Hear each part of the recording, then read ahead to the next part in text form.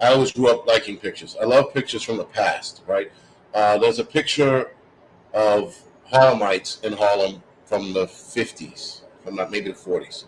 Uh, awesome picture of, of everybody from the community church standing out front. I remember seeing that picture and going, "Where are these kids today? The kids that were in the front." Um, and then my favorite picture are the Irish guys sitting on the building. I think it's the Chrysler building being built, and they're sitting on the beam having Oh, lunch. having lunch. Yeah, yeah, yeah. Right. That's an awesome picture. I've And got so- that picture hanging up above my desk in my office. Oh, you do? Yeah. That is an awesome. I love that picture, right? And then so like looking at, at pictures growing up, my mother and her photo albums, and I just got into it. So I would say about eight years ago, maybe, I started taking pictures with my iPhone.